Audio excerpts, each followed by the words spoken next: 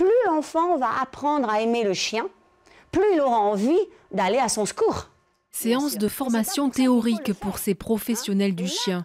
Un programme de prévention contre les morsures. 60% d'entre elles sont faites au visage chez les enfants de 5 à 9 ans. Si on fait la formation, la proportion tombe à 17%. Donc si on apprend aux enfants comment regarder un chien, comment faire pour savoir si le chien a envie de nous, il a envie de jouer ou pas, s'ils apprennent ça, s'ils apprennent à voir le chien, eh bien euh, le risque est beaucoup moins. Après la théorie, la pratique. À travers ce jeu de rôle, Chantal apprend aux enfants les gestes précis à adopter face au danger. J'ai appris beaucoup de choses. Comme quoi? Comme si on fait des câlins, il va pas aimer.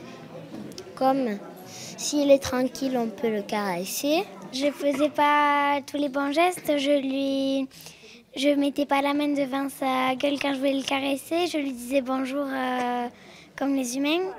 Michel est thérapeute en médiation animale. Cette formation lui permet d'acquérir des techniques pédagogiques simples et efficaces. Une formation pour que ça passe bien, il faut que tout soit dit d'une certaine manière pour que ce soit bien retenu et que ça puisse être transmis aussi de ben, peut-être d'un frère à une sœur ou d'un cousin à une cousine et qu'on se retrouve peut-être avec moins d'accidents.